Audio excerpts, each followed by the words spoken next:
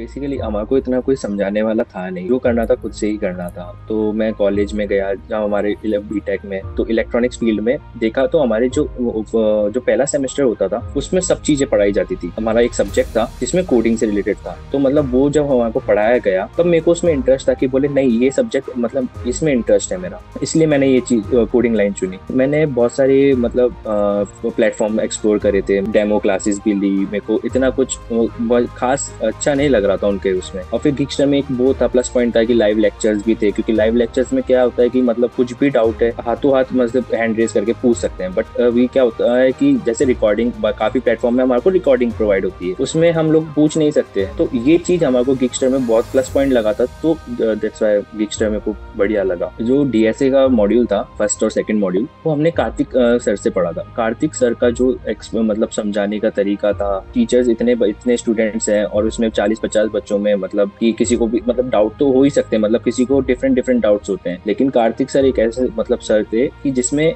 उनको, अगर एक बच्चे को भी डाउट था ना तो वहीं रोक के प्रॉपर जब तक उसको समझ नहीं आता, कार्तिक सर उसको समझाए बिना आगे नहीं बढ़ते थे, जो कार्तिक सर का प्लस पॉइंट था पढ़ाने का। अखिल सर ने भी जो टीचिंग टीचिंग का जो उनको एक्सपीरियंस है, वो भी बढ़िया है, और जो उनने जिस तरीके से हमारे को पढ़ाया एज अ फ्रेंड ही पढ़ाया, बोले कोई भी दिक्कत हो कभी भी कुछ हो हमारे को बहुत आ, मतलब मोटिवेट भी किया कि बोले कभी हम लोग ऐसे हो जाता था कि नॉन टेक से था तो हमारे को नई नई चीज़ें होती थी कि मतलब हम लोग हर रोज कुछ नया पढ़ते थे। तो इतनी चीज़ें दिमाग में रखना उसमें सर हमारे को मोटिवेट करते थे कि बोले नहीं आज भले होता है टाइम लगेगा लेकिन प्रैक्टिस करो प्रैक्टिस करो प्रैक्टिस से ही चीज़ें आपको क्लियर होगी। तो जो मेरे को अब तक बेस्ट चीज़ लगी गिकथॉन में जो क्या होता है कि हमारे को एक एज ए इंडस्ट्री वाली फीलिंग जो मतलब हमारे को नहीं लगता था कि ऐसा कुछ हमारे को अभी से एक्सपीरियंस एक्सपीरियंस मिलेगा जब हम लोग लर्निंग स्टेज में है। तो गिक्स्टर ने हमारे को वो भी अपॉर्चुनिटी दी कि बोले एज अ टीम तुम्हारे को कैसे काम कर सकते हो, वो तुम्हारे को अभी से पता चल जाएगा। तो सर ने हमारे को as a team team divide कर दी कि बोले, तुम एज अ टीम काम करोगे जैसे कंपनी में काम होता है। तो ये चीज़ बहुत मतलब एक्सपीरियंस इसका भी बहुत